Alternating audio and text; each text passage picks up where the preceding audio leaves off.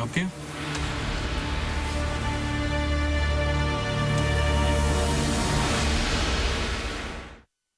On the next General Hospital. My visit will be a surprise to everyone.